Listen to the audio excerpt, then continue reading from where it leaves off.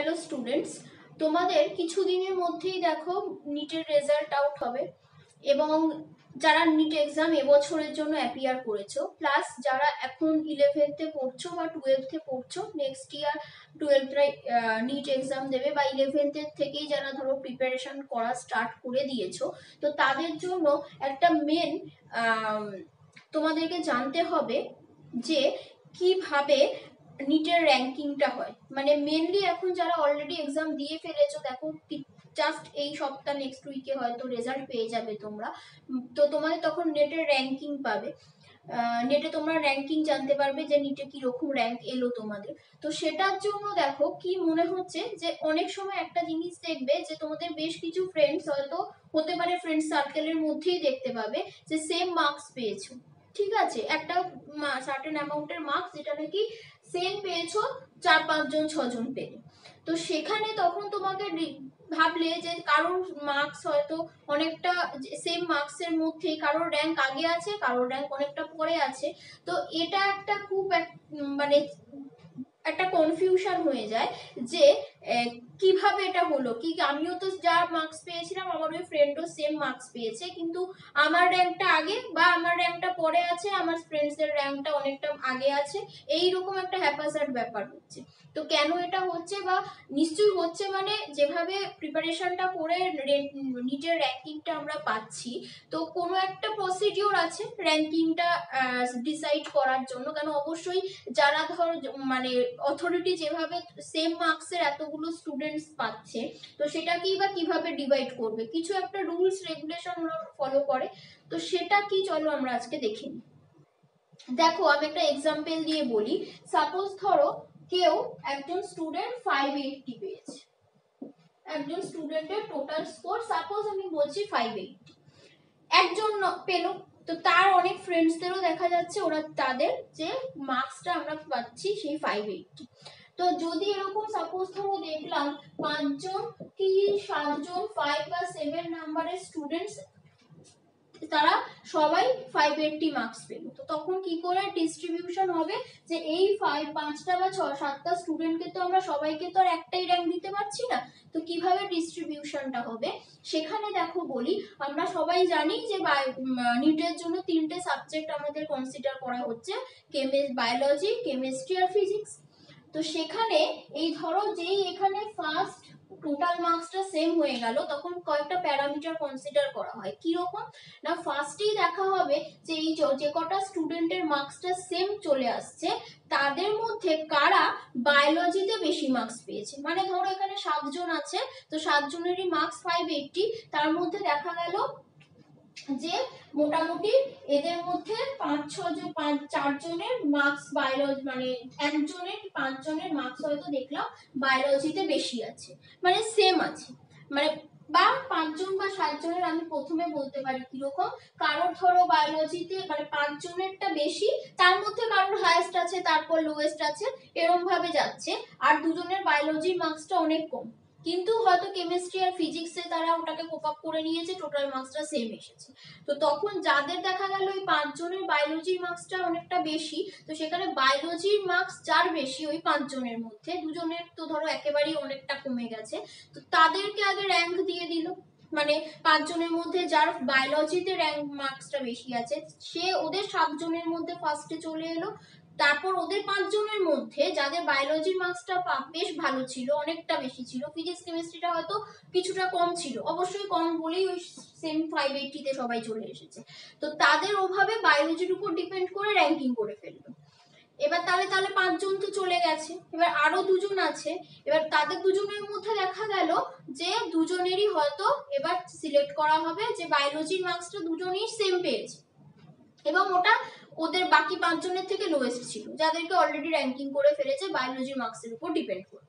তো সেটা করে দেখা যাচ্ছে কি, যে দুজনের বায়োলজি মার্কসটা কম, কিন্তু সেম তো তাদের তাদের তাদের বায়োলজি দিয়ে সিলেক্ট করা যায়নি তাদেরকে। তো তখন কি করল? তাদের কেমিস্ট্রি চুজ করছে।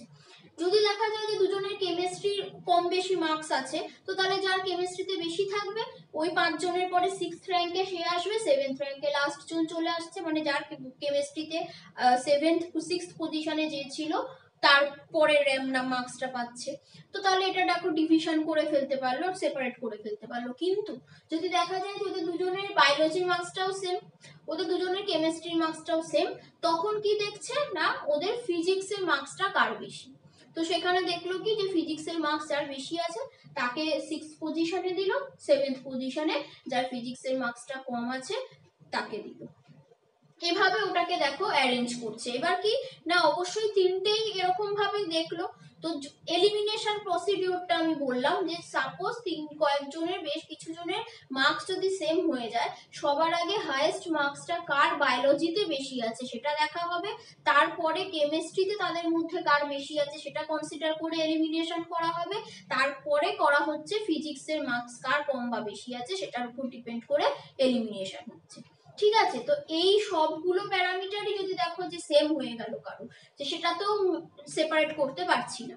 তখন যাদের মধ্যে সেম হয়ে গেছে, তাদের এজটা ট্যালি করা হয়। মানে যেহেতু আমরা দেখো জানি নিট টোয়েন্টি ফাইভ ইয়ার্স পর্যন্ত দিতে পারে, তো তাহলে একটা স্টুডেন্ট যার যে এইচএস কন্টিনিউয়েশন হচ্ছে, সেই সময়ই নিট অ্যাপিয়ার করেছে, বা হয়তো সেকেন্ড টার্মে ট্রাই করছে, বা থার্ড টাইম ট্রাই করছে, অবশ্যই তাদের এজটা টোয়েন্টি ফাইভ ইয়ার্স হয়নি, আর কেউ কেউ আছে হতে পারে বেশ কয়েকবার ট্রাই করছে, তাদের এজ হয়তো twenty two twenty three four হচ্ছে। তো তাদের ক্ষেত্রে দেখা যায় যে যদি এরকম দু, কয়েকজন হয়ে যায়, যাদের বায়োলজির মার্কস দিয়ে এলিমিনেট করা গেল না কেমিস্ট্রি মার্কসও তাদের সেম এলিমিনেট করতে পারছে না ফিজিক্সটাও এলিমিনেট করতে পারছে না সেম মার্কস পেয়েছে। মানে টোটাল মার্কস ওদের সেম পুরো। টোটালও same each and every number subject wise সেটাও সেম তখন যার এজ বেশি, সে আর বেশি বার দিতে পারবে না, তার অপরচুনিটিটা কমে এসেছে এজ বেড়ে গেছে বলে, তখন কিন্তু ওটাই হতে পারে তার লাস্ট চান্স বা ফার্দার আর একবার হয়তো দিতে পারবে। এরকম যাদের এজ যদি যার বেশি থাকবে, তখন কিন্তু তারা প্রেফারেবল হবে। ঠিক আছে, তো এটা আমাদেরকে আমি কেন বলা, যারা অলরেডি এক্সাম দিয়ে ফেলেছো, তারা যাতে কনফিউজড হয়ে যাও যে একই মার্কস পেয়ে কেন কম বেশি আমাদের রেঞ্জটা আসছে র্যাঙ্কিং এ, সেটা বোঝার জন্য। আর এখন যারা অলরেডি পড়াশোনা করছ ইলেভেন্থে আছো টুয়েলভে আছো, তারা দেখবে এটা হতে পারছে যে তোমরা হয়তো ফিজিক্সের কোনো একটা পার্ট পারছ না মানে মনে করছে না, বুঝতে পারছ না, হতে পারে অর্গানিক ইনঅর্গানিকের দেখো অনেক কিছু, একটু মুখস্থ বেস্ট অনেক কিছুই মাদাপ করতে হয় কেমিস্ট্রির জন্য। তো সেই ব্যাপারগুলো যদি কারোর হয়তো কিছু প্রবলেম হচ্ছে পার্টিকুলার সব কিছু ছেড়ে দিলে হবে না পার্টিকুলার কোনো একটা হয়তো টপিক খুব বেশি প্রবলেম হচ্ছে, কিন্তু আমরা বারবার ওটাকেই ট্রাই করছি, বারবার ওই পোর্শনটাকেই ট্রাই করছি যাতে ওটাকে আমরা ঠিক করতে পারি। এবার সেটা করতে গিয়ে কি হয়ে যাচ্ছে বায়োলজি হয়তো নেগলেক্ট হয়ে গেল, বা যার ক্ষেত্রে দেখা গেল ফিজিক্সের কোনো একটা পার্টিকুলার টপিকে কিছু একটা প্রবলেম হচ্ছে, তো সে সেটাকেই বারবার পড়তে চাইছে। তো ফিজিক্স আর সরি কেমিস্ট্রি আর বায়োলজিটা নেগলেক্ট করে ফেলছো। তো সেটা আমার বলার যে এই ব্যাপারটা তোমরা করো না, কেন কি এই সেম র্যাঙ্কের ক্ষেত্রে দেখো, সবার আগে প্রেফার তারাই পাবে যাদের বায়োলজিটা খুব ভালো মার্কস তুলতে পেরেছে। নেক্সট তাদের ক্ষেত্রে কেমিস্ট্রি তারপর লাস্টে দেখো ফিজিক্স এবার অবশ্যই এটাও ঠিক যে তোমাকে আগে তো টোটাল মার্কসটা অ্যাচিভ করতে হবে না সেই লেভেলে তো সেটার জন্য অবশ্যই বায়োলজিতে ম্যাক্সিমাম মার্কস যেহেতু থাকছে, সবাই এটা আমরা জানি যে বায়োলজি সব থেকে বেশি ইম্পর্টেন্ট এবং বায়োলজিতে সত্যি আমরা যদি এনসিআরটিটাকে খুব ভালো করে পড়াশোনা করি, তার সাথে একটু বুঝে পড়ি প্র্যাকটিস সেট প্র্যাকটিস করি প্রিভিয়াস ইয়ার্স প্র্যাকটিস করি, তো বায়োলজিতে খুব ভালো স্কোরও করতে পারব আমরা কেমিস্ট্রি বা ফিজিক্সের থেকে। তো সেটার জন্য অবশ্যই বায়োলজিতে ফার্স্ট প্রেফারেন্স থাকবে, খুব জোর দিয়ে পড়তেই হবে। কিন্তু এই প্রবলেমটা যাতে তোমরা না করে ফেলো, যে কোনো একটা টপিক পার্টিকুলার কোনো একটা টপিক হয়তো প্রবলেম কারণ সবার ক্ষেত্রে এটা হতে পারে। যে এই পার্টিকুলার পোর্শনটা আমার ঠিকঠাক ভাবে আমি করে উঠতে পারি না। বা বুঝতে পারলেও সেখান থেকে যে টাইপের কোশ্চেন্সগুলো আসছে, আমি করতে পারছি না। তো সেটা অবশ্যই ট্রাই করো যাতে যদি ওটা ঠিক করে নেওয়া যায়। কিন্তু ওটার উপরে মেন ফোকাস করে আমরা যাতে যাতে ফিজিক মানে বায়োলজিটাকে না নেগলেক্ট করে ফেলি বা কেমিস্ট্রিও যা ঠিক আছে, তো সে ট্রাই করো কেমিস্ট্রি বায়োলজি থেকে যাতে ম্যাক্সিমাম মার্কস তুলে ফেলতে পারি। ফিজিক্সে যদি কোনো একটা পোর্শনে কিছু প্রবলেম থাকে, সেটাকে রেকটিফাই করে ঠিক করে নাও, কিন্তু ম্যাক্সিমাম টাইমটা লস করে ফেলো না বা তার ফিজিক্সের ওই পার্টিকুলার কোনো একটা পয়েন্টের জন্য তোমরা বায়োলজি বা কেমিস্ট্রিকে পুরোপুরি নেগলেক্ট করে ফেলো না। কারণ আলটিমেটলি দেখো, ওই সেম মার্কসে যখন তোমরা পৌঁছে যাবে, তখন কিন্তু বায়োলজি আর কেমিস্ট্রির মার্কসটা খুব একটা ভাইটাল হয়ে পড়ছে। ঠিক আছে, তো লাস্টের যেটা কন্ডিশন বললাম, ওটা তো আমাদের উপর নেই কি? যে কার এজ কীরকম থাকছে সেটার উপর ডিসিশন নেওয়া, তো সেটা আমাদের কিছু করার নেই। কিন্তু বায়োলজি কেমিস্ট্রি আর ফিজিক্সকে কীভাবে আমরা রেডি করব, কীভাবে টাইম ম্যানেজ করব, সেটা দেখো, এটা টাইম ম্যানেজমেন্টের ব্যাপারটা যে যার নিজের মতন করে রুটিন ফর্ম করতে পারো। তো সেটা নিজেকে কিন্তু বুঝে করে নিতে হবে।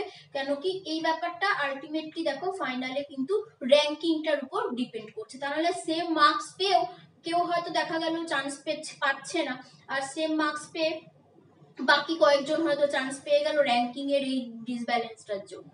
তো এইগুলো একটু মাথায় রেখে যদি তোমরা প্রিপারেশনটা নাও, তো আমার মনে হয় আরও বেটার তোমরা রেজাল্ট পেতে পারো। মোর ইম্পর্টেন্ট একটা প্যারামিটার হচ্ছে দেখো নেগেটিভ মার্কিং ঠিক আছে? এই এতগুলো যেগুলো ধরো কনসেপ্টগুলো আমি ডিসকাস করলাম তোমাদের সাথে, সেগুলো তো অবশ্যই তোমাদেরকে নজর রাখতে হবে, সেগুলোর উপর ফোকাস করতে হবে। কিন্তু তার সাথে সাথে যখনই আমরা এক্সামের জন্য প্র্যাকটিস করব মানে সিলেবাস শেষ হয়ে গেছে এমসিকিউ কোশ্চেন্স প্র্যাকটিস করছি, তখনই প্র্যাকটিসের সাথে সাথে এটাকেও রেডি করতে হবে কি যাতে নেগেটিভ মার্কিংটা কমাতে পারি। কেন কি দেখো তোমাদের এক একটা নেগেটিভ মার্কিং হওয়া মানে ফাইভ মার্কস করে দেখো কমে যাওয়া। মানে কীরকম ফাইভ মার্কস কমে যাওয়া কেন বলছি? এক একটা কোশ্চেন ফোর মার্কসের তো তুমি এক একটা কোশ্চেন ফোর মার্কসের তো ভুল করলেই, তো সেই মার্কসটা তো গেলই। তার সাথে আরও ওয়ান মার্কস তোমার যেটা তুমি পজিটিভ করেছিলে, সেখান থেকে নেগেটিভ হয়ে যাচ্ছে। তো সেই জন্য আলটিমেটলি একটা কোশ্চেন ভুল করছি মানে আমি টোটাল যতটা মার্কস গেন করে আসছি, তার থেকে ফাইভ মার্কস করে কমে গেল রিডিউস হয়ে গেল। তো অবশ্যই এটা তো একটা অনেকটা এফেক্ট করবে মার্কসটা কতটা গেন করছি সেটার উপর। তো সেটা মাথায় রাখতে হবে। আর এটা কিন্তু র্যাঙ্কিংয়েও যেরকম তোমাদের এতগুলো আমি টপিক বললাম যে কীভাবে র্যাঙ্কিং হতে হয় আর কি। তো সেটার উপর বেস করে আরও একটা প্যারামিটার কিন্তু এই নেগেটিভিটিটা মানে নেগেটিভ মার্কিং সাপোজ যে যে মার্কসটা আমি তোমাদেরকে বলছি এক্সাম্পলে যে ফাইভ এইটি মার্কসই ধরো তিনজন ক্যারি করছে, তবে তিনজনের মধ্যে এই যে সবগুলো মানে এই যে ফিজিক্সের মানে বায়োলজির মার্কস কেমিস্ট্রির মার্কস ফিজিক্সের মার্কস এগুলো দিয়ে এলিমিনেশন হয়ে গেল। এলিমিনেশনের পরেও দেখা যাচ্ছে তবু তাদেরকে কয়েকজনকে তখনও এলিমিনেট করা যাচ্ছে না। ঠিক আছে, তো সেক্ষেত্রে তখন প্রবলেমটা কি করে আমরা রেকটিফাই করব? মানে ঠিক করা করা যেতে পারে, তাদেরকে কি করে আমরা র্যাঙ্কিং দেব?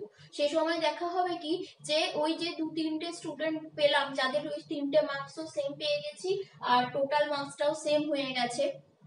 তো তখন ওই এজ যেটা বললাম তোমাদেরকে এর আগে, তো এজটা দেখার আগে আরেকটা কি প্যারামিটার মেনটেন করে? না, সেটা হচ্ছে কে নেগেটিভ মার্কিংটা বেশি করেছে। মানে ধরো দুজনই ফাইভ এইটটি মার্কস পেয়েছে, কিন্তু কেউ হয়তো সাতটা বা আটখানা অ্যান্সার নেগেটিভ পে করেছে, করে তার স্কোর হচ্ছে ফাইভ এইটটি আর কারও হয়তো মাত্র দুটো কি তিনটে নেগেটিভ হয়েছে, করে তারও স্কোর হচ্ছে ফাইভ এইটটি এবার যে কম নেগেটিভ করেছে, তার মানে কিনা সে অনেক বেশি স্পেসিফিক্যালি অ্যান্সার দিতে পারে। সে নিজে অ্যানালাইসিস করতে পারে যে আমার কোন অ্যান্সারটা ভুল হতে পারে, আমার কারেক্ট হবে আর কোনটা ভুল হচ্ছে, কোনটা ইনকারেক্ট কারেক্ট হচ্ছে সেটা সে রেকটিফাই করতে পারছে ওই থ্রি আওয়ার্স এর মধ্যে। তাই সে কি করেছে? নেগেটিভ মার্কিংটাকে কম রাখতে পেরেছে। তো সেই মেন্টালিটিটাকে জাজ করে তখন কি করা হচ্ছে না, যার নেগেটিভ মার্কিং এর ক্যাপাসিটি কম করেছে আর কি, যে স্টুডেন্টটা নেগেটিভ মার্কিং কম করে সেমি স্কোর পেয়েছে, তখন কিন্তু তাকে আগে প্লেস করা হয় তারপরে যার নেগেটিভ মার্কিংটা বেশি ছিল, কিন্তু সেমি স্কোর আছে, তাকে স্প্রেস করা হয়। আর এই সবটা করার পরে লাস্টে আসছে যেটা তোমাদের এজটা আমি ডিসকাস করলাম, সেই টপিকটা সো এই সবগুলো মাথায় রেখে যারা এখনও প্রিপারেশন নিচ্ছ নেক্সট ইয়ারের জন্য তারা প্রিপারেশন নাও। আর যাদের রেজাল্ট কদিনের মধ্যেই চলে আসবে, তাদের জন্য অল দ্য বেস্ট